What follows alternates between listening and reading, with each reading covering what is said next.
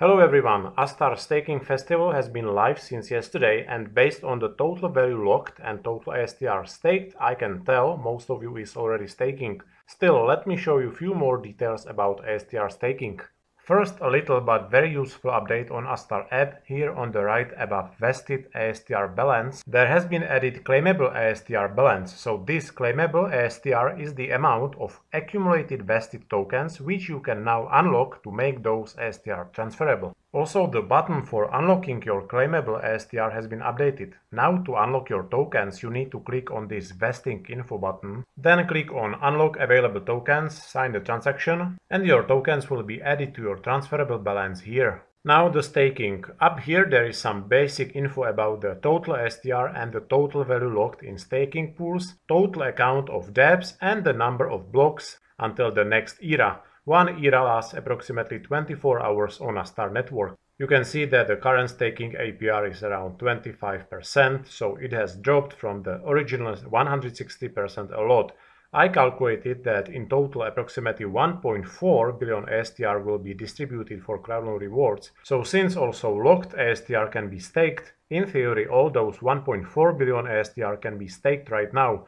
I would expect the APR will eventually stabilize around 20 to 23%. So eventually it is not such a great staking festival with insane APR as was originally claimed, but it is simply due to the fact that also locked ASTR can be staked. In comparison, current APR for staking Glimmer tokens still holds around 120%, but you needed to contribute at least 40 DOT to Moonbeam to have now unlocked at least 50 Glimmer tokens to be able to stake, while staking ASTR is available simply for everyone. Still, I think putting your ASTR to work to grow your ASTR bags is much better than selling for such a low price, currently trading at 13 cents. There are now 28 staking pools available and it doesn't matter which one you choose, all of them will provide the same APR.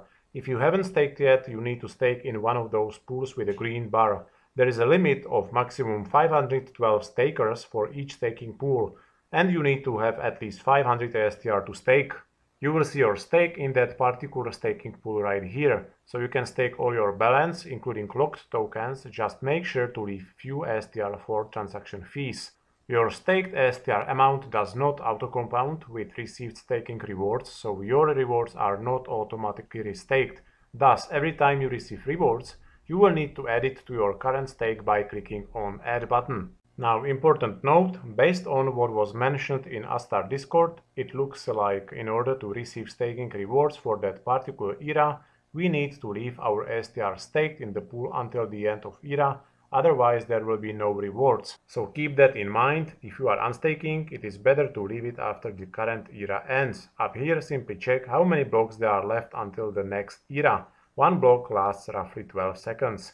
Speaking of the staking rewards, they are distributed right after era ends, so after every 24 hours. So since era 1 finished yesterday, all of you who have been staking since yesterday have already received your first staking rewards. You can check your daily staking rewards on astar.subscan.io after adding your address under rewards and slash tab. Staking rewards need to be claimed to be added to your transferable balance, but you don't have to worry about claiming as the pool owner or anyone else from the stake pool will always claim the rewards for all other stakers in the pool. At least this was the case with the staking rewards yesterday. Remember, the person who clicks on the claim button will pay the transaction fees for everyone in that pool. For that reason, when you click on the claim button, here next to pending rewards, there will be displayed 0 ASTR, meaning someone has already claimed the rewards from the previous era for you. So again, claimed staking rewards from the previous era will be automatically added to your total balance and also to ASTR transferable balance here. Now real dApps will be deployed on Astar in about a month, so this staking festival providing 50% higher APR will last around one month and then the APR will drop to the level between 10 to 15%. At the moment there is no unbonding period, so you can freely unstake your ASTR as you wish and if the price of ASTR token suddenly goes up and you will feel like selling your unlocked tokens, you can do so very quickly, still leaving your locked ASTR nicely staked. Also there is no slashing, so you will never lose any of your staked ASTR. Now that's for the staking, but Sota Watanabe and his Astar team really delivers, so there is some more news. Astar shared on their Twitter the vision about how dApp staking portal will look like. The aim of Astar is to make this portal look like Apple's App Store. This is how UI for each dApp will look like. Each application will have a dedicated page containing basic description, project details.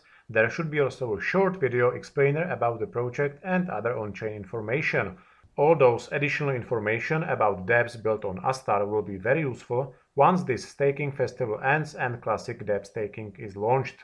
All dApps will offer different staking conditions, some of them will offer different kickoff bonuses, NFTs, and other incentives, as is the case with dApp staking on Shiden. And speaking of staking on Shiden, the current APR is only 10%.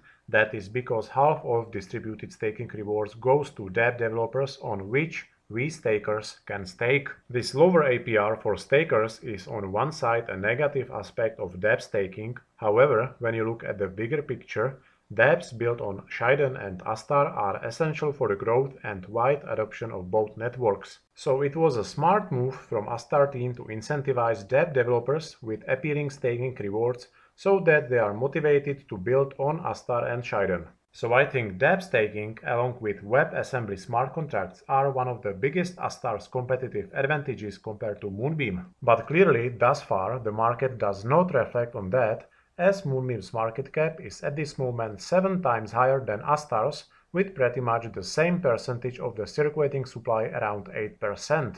I think Glimmer token is still holding up pretty well despite these tough market conditions which we are in right now makes me wonder what could be the price action of Glimmer once the sentiment in crypto space turns more bullish. That's all for today. Happy Astar staking to everyone. If you have any questions, please leave them in the comments. Thank you so much for watching this video and bye bye.